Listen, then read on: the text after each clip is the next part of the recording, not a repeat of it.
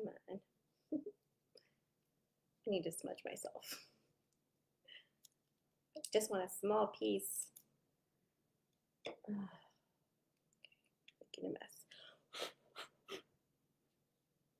Good morning, everybody. hey, Bridget. Hi, Melody. Okay. Doing it. Happy Thursday. How's everybody doing? Smudge you guys too. Everybody gets a smudge. Hey, Rose. now that I've made a mess everywhere. Excuse me. All right. Hey, Cindy. Hey, Claudia. Hey, Jean. Everybody's coming in. Coming in for the chat. what will I talk about today? Just kidding. I have a theme. I posted it. Good morning, Margaret. Hi, Maya. Looking forward to seeing you later. Hey, Amy. Yay, everybody's here. Yeah. Uh, did you have a lot of, Jean says she doesn't sleep great. Did you have a lot of crazy, crazy interrupting dreams or just lots of energy coming in? Hey, Susie. Thank you. These are made by my friend, Allie Fontaine, and you can find her Muse by Allie. I'm trying to tag her, um, but I don't know why that isn't working. So I'll just write it here. Muse by Allie. There. okay. hey, Sandy. All right. Have a little water. I'm having another coffee problem, which is a problem big time because I really need coffee because I'm really tired. like I couldn't even think about even putting concealer on today. Um, but the coffee is like upsetting my nervous system. So it's like I have a few sips of it and I just feel like mm, really not good and it doesn't even taste good anymore. So I'm in search of a new um, wake up liquid. That's what I'm doing. Hey, Stephanie. Okay. Hi, Emily. Hi, Susie. My sister's watching on Instagram. Um, happy belated birthday to Withiel, Stephanie. I just saw your post. All right, so friends, hello. Here we are. So let's first talk about what's happening currently in astrology this week in 2020. Um, Mars just went retrograde in Aries. So what the hell does this mean? I posted an article by Chani Nicholas in our group that you could read. It's it's pretty like long and comprehensive, and so I'm going to give you my non-astrologist um, point of view on what is happening here. So first, we're going to talk about Mars. Mars is the planet of aggression, passion, action, your sexuality, all of that, all of the driving forces. And it is the planet or the god of war. Okay? So, yay, everybody. Are you ready for this? But here's the kicker, right? So, Mars energy is like that primal animal force. Like, it's it's not thinking before doing it's doing it's like what your what your um what your primal animal instinct wants you to do it's like jumping into that action and it's in retrograde, which means that it's focused inwards, right? It's slowing down. And Mars doesn't love that, and neither does Aries. So it's it's a little bit of a frustrating halt, but a necessary one. That's going to help us to really understand our driving forces.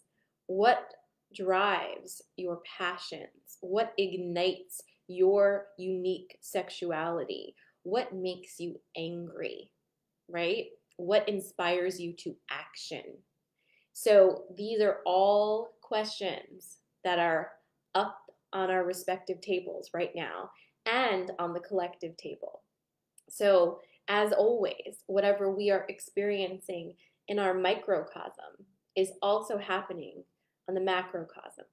And so, consider whatever you're feeling right now is also happening on the larger world stage. So, fun, fun bounds for everybody. Everyone's experiencing this Mars retrograde differently depending on so many factors, right? Because we're all at different places in our lives. We are all experiencing things in a different energy. So, right now, when Mars clicked into retrograde, you may have felt incredibly exhausted, or you may have felt suddenly completely exhilarated and euphoric, even. But keep in mind that this retrograde is not going to last three days. It's going to be in retrograde until mid November. So this is not a quick flash in the pan. This isn't a quick observation about what makes you angry, what excites your passion. this is a longer haul. This is serious introspection and figuring this out. So, whatever you're feeling now is your entry feeling. It's going to change as we move through. It's going to be affected by the different signs we pass through. We're still in Virgo right now. We're going to be moving into Libra season next, which is a totally different energy. So as we move through the rest of this uh, the next few months in this Mars retrograde, all of these things are going to take on different flavors and energies for us. But I want to talk to you guys about all of these emotions that Mars brings with it because they've been coming up, right? We as humans love to classify things, right? We love sorting. What's like the first thing we teach our kids to do? Sort the like things. Put the things that are like each other together. Put all the blue blocks together, all the red circles together. And we're like, yay, you did it. You can identify things that are the same. What about identifying things that are different? Right? Because we have so many things inside of us that are different. All of us have unique, different signatures with our energies, and none of us are exactly alike. So, we love to classify things. We love to say this is a good thing and this is a bad thing. This is the right way and this is the wrong way. And most of us, you know, just kind of float through with this and don't even consider who's telling us what the right thing and the wrong thing is. We're just like, we want to be good. We want to be good people. We want to do the right thing. We want to make our parents proud. We want to do right by our kids. We want our friends to love us. You know, we have to help society. So let's be good. Let's be good. Well, what that does is creates an area a huge area actually in ourselves that we do not look at, that we repress. We look at emotions like fear, anger, anxiety, sadness, any of these things. We're like, we don't want that. So, how do we get that out? As soon as we are angry, we think, okay, how do I how do I fix this anger? As soon as we are sad, how do I not be sad? We have a friend who's sad. What what do we do? We I mean, I don't know. I've seen some memes that are very accurate, like here's some toothpaste. That's me. But we see a friend who's sad and we want to help them to not feel sad anymore, right? Because it it sucks and we don't want them to feel sad and also it's awkward for us and we don't know how to fix their sadness. We are obsessed with fixing the emotions that we think are not good. But that is not allowing us to experience 50% of life. Because where there's happiness, there's sadness. They are part of the same whole. They just move around, right? Passion, anger, right there, all together. So we are in the passion anger, war energy, but it's in retrograde. So it's time to look at our passion, anger, and war energy and start to figure that out. How do we tap in to these extreme energetic emotions and allow them to be a force for reconstruction as opposed to deconstruction? The energy of anger is super action oriented. It is potent, magical energy. And if you haven't been tapping into your anger, you have been missing this incredible transmutative energy that can absolutely catapult you from one spot to the other almost immediately because it's that powerful. We think of anger as being out of control and as being something we shouldn't we shouldn't have. We should fix, right? But think of it this way, right? All of these big emotions are actually launch points. You don't live in them. We don't live in joy. We don't live in happiness. We don't live in complete peace and contentment. All of these emotions are places we visit. We go in and we go out, in and out. Thinking you need to be in one emotion for your whole existence is insane because it's just not going to happen. And it's also, if we did that, we would be really, really boring because we wouldn't know how anything else was. We would have no texture, no excitement, um, no color. It would just be like a flat line. So when you feel anger, when you feel sadness, when you feel fear, when you feel pain, just remember that you don't live there. You're visiting, and there's something for you to learn there, and there's something for you to jump into from that space. So, the same thing with joy. If you don't live in joy, you visit there. You're in, it feels so good. You collect all the things from there, and then you move into what whatever the next emotion is. So, you don't have to be afraid of your anger. Now, I'm going to preface this because this is important. If you are a person who is constantly angry, like more than not, if you feel that you're always on edge and ready to blow up at people, that is different than what we are talking about today.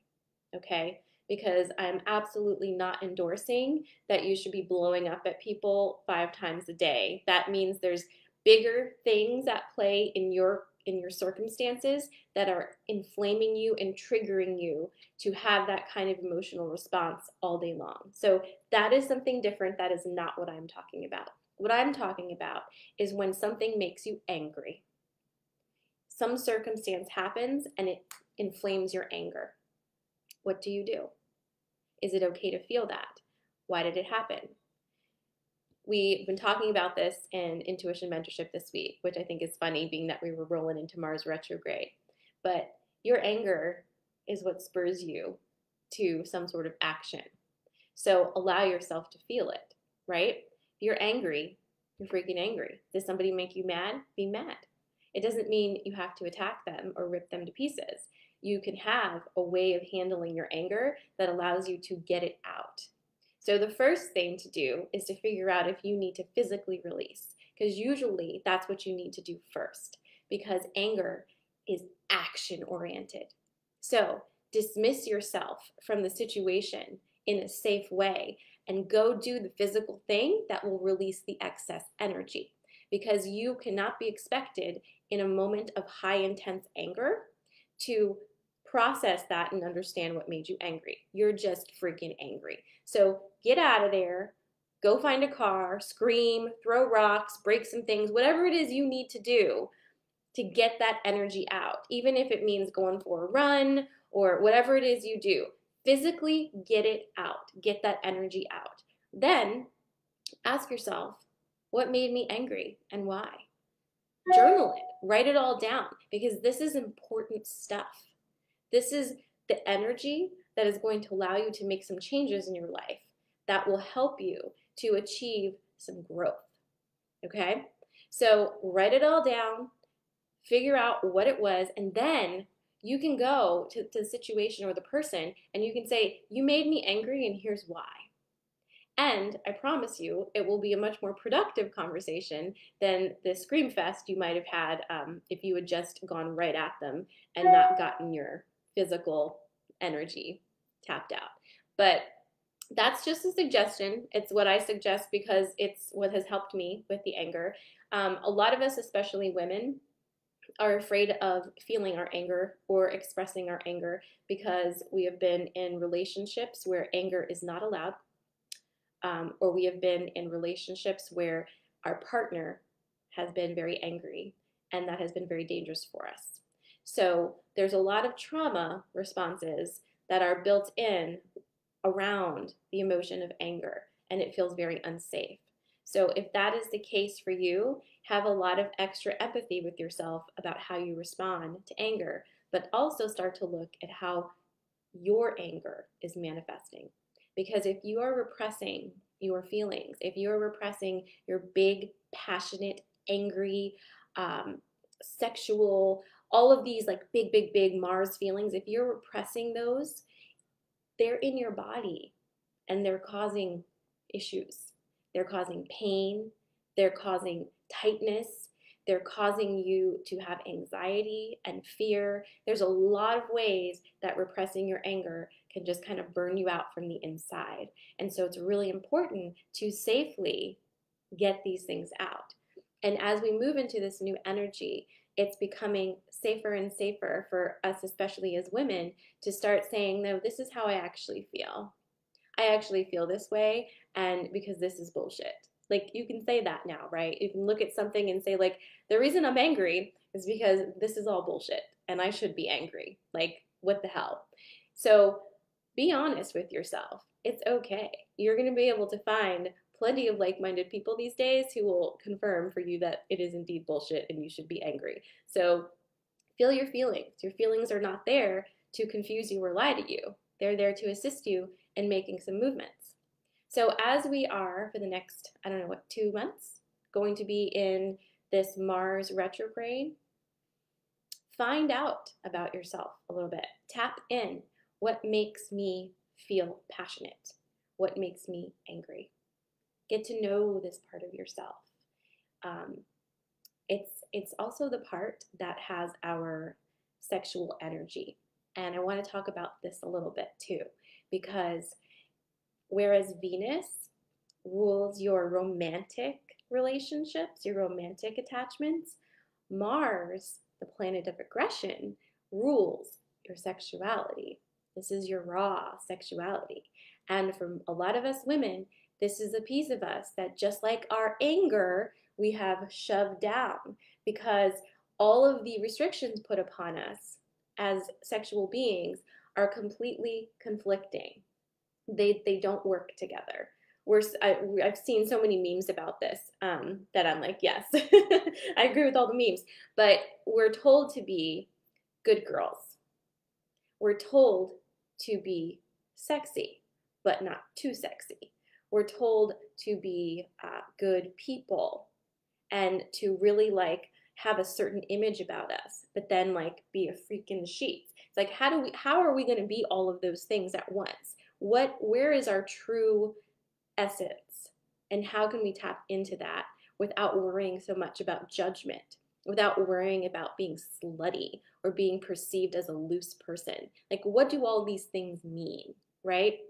So talking about sexuality during this Mars energy is going to be important too, because it's time to ask ourselves, what turns me on? What do I really like? Who am I as a sexual being? And where do my um, passions lie within that? And this is all um, tying into, and you know, it's funny because I didn't realize that um, the sex workshop that I'm doing is going was landing during this Mars retrograde. But yeah, so if you are interested in tapping into your sexual energy in a new way, starting to learn about your raw, untapped sexual energy, the sexual energy without the trappings of patriarchy on top of it, come to the workshop. You can do it in person or virtually. And we are going to be really digging into this because I'm totally veering off to the left now, but like it is what it is. You've met me. but this is the seat of our manifestation, ladies. Our sexuality, our sexual energy is literally the essence of our biggest manifestation tools. This is blowing out your lower chakras. We dream it up, it comes in through here. We visualize it, we speak it, we feel it in our hearts. It comes into being in our solar plexus, goes into, into our sacral, and then boom, pops out our root chakra. If you are blocked in your lower chakras, your powers of manifestation are blocked as well because it's so difficult to get this magic out into the physical world.